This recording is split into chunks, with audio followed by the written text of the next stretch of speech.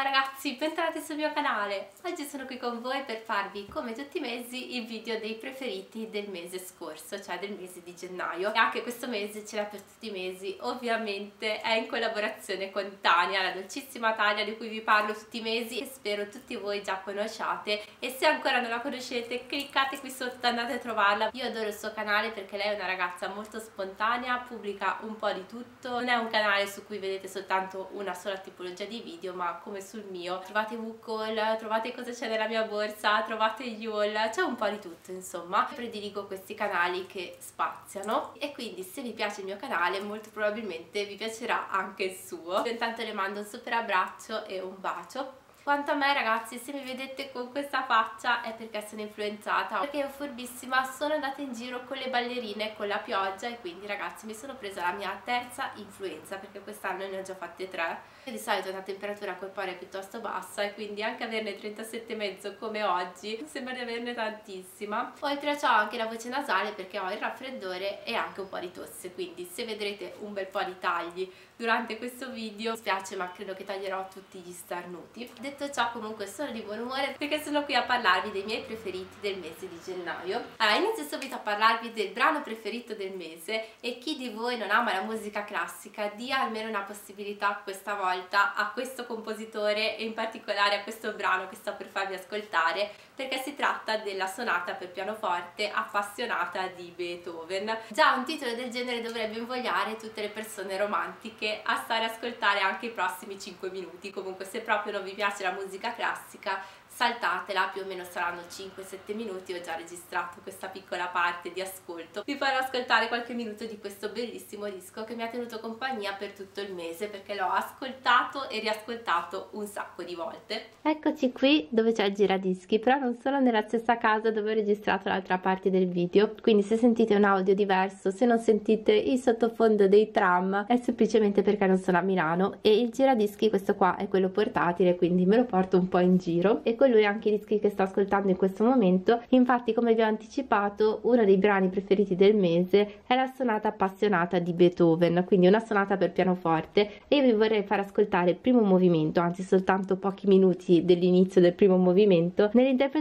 di Willem Backhaus che ormai chi mi segue lo sa è uno dei miei pianisti preferiti e questo è un disco bello vecchiotto che ho ereditato non si sente benissimo però io queste sonate interpretate sempre da Backhaus ce l'ho anche nella versione in CD. Non ve lo faccio ascoltare dal CD per questioni di copyright. I dischi in vinile con il loro gracchiare danno un che di unico all'audio che fa sì che il computer non lo riconosca e quindi non me lo censuri. Comunque qui sotto io vi lascio il link per poter ascoltare interamente questa sonata. Ascoltarne pochi minuti secondo me non ha molto senso. Magari una volta proverò a farvi ascoltare un brano completo, però non vorrei tediarvi troppo. Il brano preferito del mese è la sonata appassionata di Beethoven, ovvero la sonata numero 23 in Fa minore. Questa sonata è stata composta tra il 1804 e il 1805 ed è stata pubblicata nel 1807. Il titolo Appassionata non è di Beethoven, ma è un titolo che risale a un'edizione che uscì dopo che Beethoven era già morto nel 1837 in una trascrizione di questa sonata per pianoforte però a quattro mani e da lì il titolo che era perfettamente calzante con il carattere insomma della musica rimase passò quindi alla storia. Tra le sonate di Beethoven questa è una delle mie preferite ma non è la mia preferita, la mia preferita resta l'ultima, la 111, che prima o poi vi farò ascoltare, però è talmente bella che quasi ho paura a condividerla, non lo so ragazzi. È una cosa strana qui su YouTube perché mi piace condividere le cose che amo, ma allo stesso tempo non so se sarei in grado di esprimere вскоре quello che mi trasmette perché mi trasmette talmente tante emozioni diverse quella sonata che forse non è il caso neanche di parlarvene. Non so se questo discorso ha un senso. Comunque sono riuscita già a divagare in pochi minuti. Le circostanze della composizione non sono quelle che potremmo immaginare della passione amorosa o meglio ne è attestato il fatto che questa sonata fosse stata scritta per una persona in particolare anche se magari chi di voi insomma conosce un po' la biografia di Beethoven sa che legata alla sua biografia c'è il famoso dilemma dell'amata immortale immortale, anzi magari ne parleremo in un video a parte perché le lettere all'amata immortale di Beethoven, che alla fine sono solo tre lettere, però sono veramente bellissime e vale la pena leggerle Questa sonata secondo me rappresenta anche il superamento del sentimento amoroso, reso possibile attraverso lo splendore della forma. Il primo movimento, che è un allegro assai, inizia subito all'unisono. Si sentono degli accordi sia nella mano destra sia nella mano sinistra e suscitano subito una certa atmosfera quasi di pericolo. La distanza fra le due ottave fa risultare la voce del basso un po' inquietante e oscura. Poi il tema si ripete in una tonalità diversa, cioè in una tonalità appena sopra, ovvero sol bemolle maggiore, quando modula in questa tonalità tutto acquista un'aura ancora più misteriosa. La cosa più bella è che è una trovata che Beethoven non utilizza soltanto in quest'opera ma anche in altre, è il motivo del bussare che compare proprio all'inizio, alla battuta mi sembra 10 o 11, adesso non ho qui lo spartito davanti però proprio nelle prime battute, queste note annunciano qualcosa di fatale. Un'altra particolarità è il tempo, il tempo in 12 ottavi, praticamente considerato un intero diviso in 8 in cui dovete far stare 12 note. Questo significa che eh, all'inizio sullo spartito ci sono 4 gruppi di terzine, in realtà quello che si percepisce è una sorta di battito, no? Scaturisce quindi già a livello proprio di tempo una tensione. Quindi abbiamo un metro fortemente puntato, rende benissimo l'idea del pulsare del battito, del battito del cuore, è una trovata geniale. Non è facile da eseguire questa sonata, io non l'ho ancora studiata a pianoforte, ne sto studiando un'altra in questo momento, ne ho studiate altre di Beethoven, però questa mi manca, è particolarmente difficile secondo me. Anche a livello interpretativo il tempo 12 ottavi può dare delle difficoltà in tre movimenti ma in realtà è come se fosse in due perché il secondo è quasi di passaggio è quasi da inglobare nel terzo movimento. Quindi ci sono due grandi blocchi distinti. Il finale è semplicemente meraviglioso anzi vi invito ad ascoltarla interamente questa sonata vi lascio qui sotto il link con sempre l'interpretazione di Backhouse quindi vi lascio sia il link per poterlo vedere o meglio ascoltare su YouTube perché non credo che ci sia il video anzi sicuramente sarà solo un audio. E poi vi lascio il link a un cofanetto che ho anch'io. In cui sono racchiuse tutte le sonate di Beethoven nell'interpretazione magnifica di questo pianista straordinario. Questo è uno di quei brani musicali che ho ascoltato e riascoltato tantissime volte in tantissime interpretazioni diverse. Tra gli interpreti tuttora viventi l'interpretazione che ho preferito è quella di Andras Schiff, un pianista formidabile, tra quelli deceduti è quella di Backhaus. Ecco qua.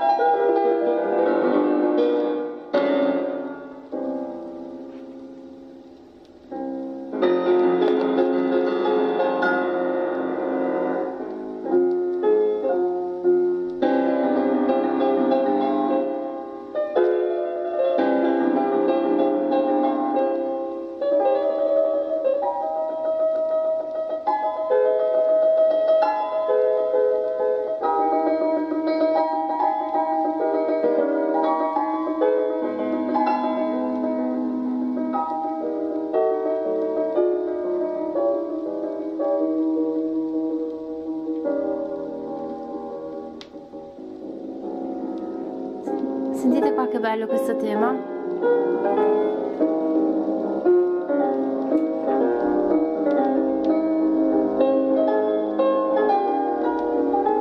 Sentite com'è cantabile rispetto a quello precedente.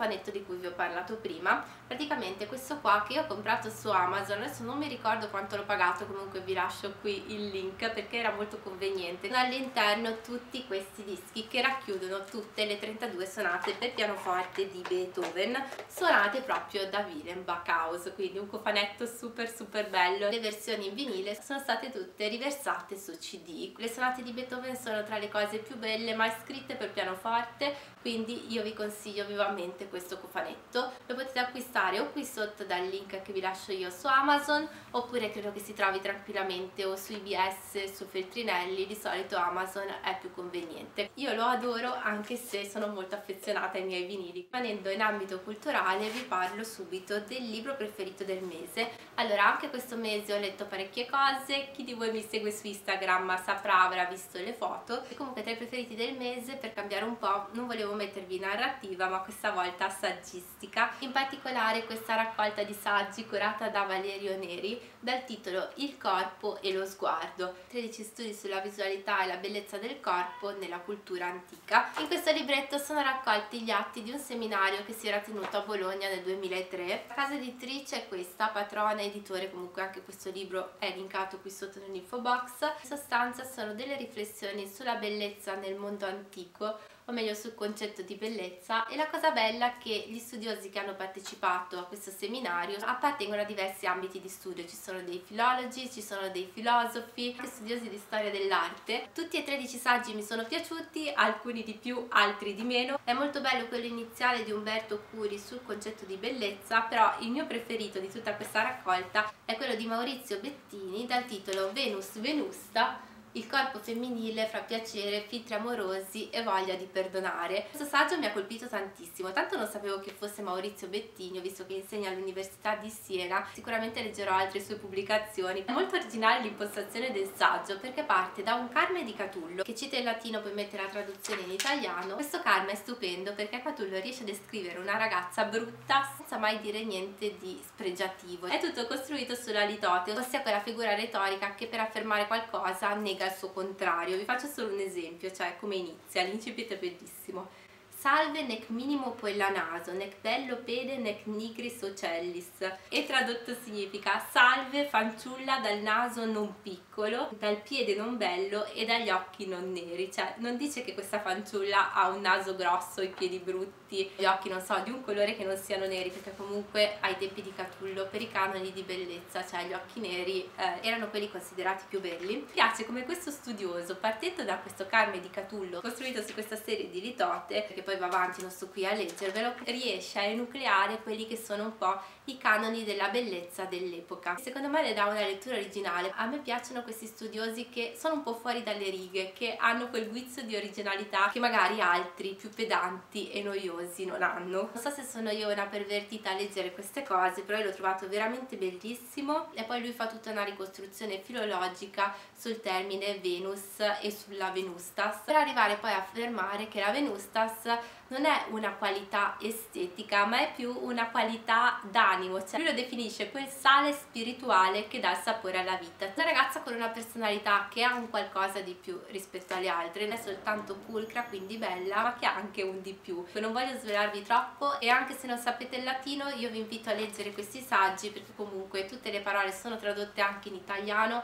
e poi non tutti hanno delle citazioni in latino. Ce ne sono altri molto belli comunque a me ha colpito quel saggio lì questo volumetto costa solo 13 euro ve lo linko qui sotto spero di trovarlo perché l'avevo preso un po' di tempo fa però l'ho letto solo ora ho un sacco di libri nuovi che devo ancora leggere e questo l'avevo lì da un po' comunque spero si trovi ancora. Come fin del mese mi stavo dimenticando volevo segnalarvi un film che ho visto al cinema che si intitola L'ora più buia vi metto qua la locandina. È praticamente un film che racconta la storia di Winston Churchill. Film storico ma assolutamente molto avvincente per nulla noioso. È girato bene poi l'attore che fa Churchill è bravissimo magari andate a vedere il trailer e poi se c'è ancora nelle sale io ve lo consiglio. Adesso parliamo di cose un po' più leggere un po' più frivoli. Diciamo che la parte tra virgolette culturale o pseudo culturale finisce qua. Chi di voi non è interessato a vedere le altre cose insomma può anche chiudere. Come profumo del mese ho da mostrarvi il solito profumo di Zara Joyful Tuberose però questa volta mi sono ricordata di portarvi di qua anche questo roll-on che è praticamente lo stesso profumo però in un altro formato. E io volevo consigliarvelo perché è comodissimo da portare in borsetta. Vedete ha proprio il roll-on. Voi ve lo mettete quando siete in giro. Non si versa, non mi si è ancora rotto sono 10 ml di prodotto, è perfetto anche per i viaggi, ovviamente a livello di convenienza questo è sicuramente migliore, però il profumo è lo stesso, quindi se lo volete provare io vi consiglio di prendere prima la mini size. Come prodotti di make up del mese non ne ho da mostrarvi in particolare, adesso ho messo questo rossetto che però non è uno dei preferiti del mese, ma ve lo volevo mostrare. È il 314 dei Velvet Passion di Kiko, che adesso sono in sconto, sapete che io compro sempre il 315, ve lo mostro tutti i mesi, mesi è quello che vedete quasi in tutti i video però oggi volevo cambiare proprio perché ho le occhiaie che insomma non dormo per via della febbre. Via del raffreddore la febbre insomma l'influenza volevo mettere qualche cosa di un po' più acceso per smorzare il mio pallore e soprattutto le occhiaie. Comunque non credo di esserci riuscita. In ogni caso il colore è questo. È un bel color magenta abbastanza forte anzi un po' forte per i miei standard però insomma oggi sono in casa quindi lo posso mettere. Magari non lo metterei di giorno un po' più da sera però è molto carino. Come prodotti corpo del mese voglio mostrarvi soltanto questi due il solito bagno doccia al pepe rosa che avete visto anche nell'ultimo haul di Bottega Verde. Questo ve lo consiglio, sapete che mi piace quindi non sto qui a soffermarmici troppo. Mentre ho ricomprato e non ho ancora aperto la mia crema preferita per il corpo che è questa della Lavera quindi è una marca bio, sicuramente non c'è paragone con Bottega Verde. È una crema con burro di karité e olio di mandorla bio. Si trova all'Esselunga, ha una consistenza proprio burrosa cioè ci mette un po' a essere assorbita dalla pelle però poi vi lascia la pelle morbidissima adesso vedete chiusa sarà tipo la quarta che ricompro e l'ho comprata perché questa settimana all'Esselunga tutti i prodotti della Lavera erano scontati. Nel frattempo la mia voce sta scendendo e la mia febbre probabilmente sta salendo. Come scarpe preferite del mese sono le solite ballerine. Queste sono le ballerine incriminate è perché ho messo queste ballerine in una sera di pioggia cioè voi direte sei pazza però quando sono uscita ragazzi non pioveva cioè io ho messo queste dopo un'ora avevo i piedi zuppi. Comunque queste sono le solite che vi ho già mostrato altre volte sono quelle in simil velluto di OVS adesso si sono un po' rovinate credo che se dovessi ritrovarle ne comprerei un altro paio per tenerle di scorta perché sono veramente super super comode. Come borsa del mese ho utilizzato tantissimo quella nuova che però non ho qui in questo momento che l'ho lasciata a casa dei miei. Però oltre alla borsa nuova che sicuramente vedrete prossimamente in un what's in my bag aggiornato L'altra borsa che ho usato è questo zainetto di Zara che risale ormai a più di un anno fa ed è super super comodo e molto elegante questo colore carta da zucchero. Tendente un po' al colore Tiffany. E poi mi piace tantissimo il dettaglio di questa chiusura, di questa taschina davanti. Quindi questo è stato uno dei preferiti del mese di gennaio. Un altro preferito di questo mese che non c'entra con il beauty. Sono delle cuffie che ho comprato su Amazon che veramente ragazzi cioè ve le devo consigliare assolutamente della marca Sony e sono rosa, cioè guardate che carine, normalissime cuffie che però potete piegare, vedete? Alla fine le potete riporre nella borsetta e non occupano neanche tanto spazio e l'audio è veramente ottimo. Erano in offerta a 10 euro invece che 16 quindi se ci sono ancora vi lascio qui sotto il link per acquistarle cioè o meglio questo colore rosa era in offerta a 10 euro poi c'erano di altri colori e avevano prezzi differenti. Queste però mi servivano perché avevo rotto quelle che avevo preso da Tiger quelle bianche. Quelle di Tiger le avevo pagate 8 euro quindi con 2 euro in più ho uso delle cuffie di marca sperando che mi durino un po' più di quelle di Tiger. L'ultima cosa di cui vi voglio parlare è il cibo del mese che non sempre mi ricordo di parlarvi delle cose che mangio durante il mese però questa volta volevo segnalarvi una cosa. I pizzoccheri della Valtellina che qui vedete nella confezione aperta perché li ho provati proprio l'altro giorno. Mi piace provare ricette nuove però i pizzoccheri non li avevo mai provati cioè li avevo mangiati al ristorante però non li avevo mai cucinati in casa. Sicuro che sono la fine del mondo. Vi metto qua una foto dei pizzoccheri cucinati perché qua li vedete praticamente da cuocere. Ci vogliono un po' di ingredienti però il risultato ragazzi è garantito. Dovete mettere una patata 400 g di verze cuocete il tutto per circa mezz'ora 40 minuti dopodiché aggiungete questi e una volta che sono cotti anche questi che ci mettono circa 10 minuti alla fine ci aggiungete della fontina o comunque del formaggio simile alla fontina del parmigiano del burro sopra e se volete anche della salvia. Credo che sia una delle cose più buone che abbia mai assaggiato sarà perché io adoro la verza, mi piacciono tutti i piatti a base di verza. Questo è un piatto tipico della Lombardia, chissà magari la prossima volta che lo cucinerò vi proporrò una video ricetta, però non lo so quando mi capiterà ancora di trovare una verza buona, perché non è facilissimo trovare delle belle verze. Niente ragazzi, vi ho parlato un po' dei miei preferiti di questo mese, spero di non avervi annoiati troppo. Mi raccomando andate a trovare anche Tania, vi ringrazio per essere arrivati alla fine del video, vi mando un bacio, un abbraccio se volete ci vediamo al prossimo.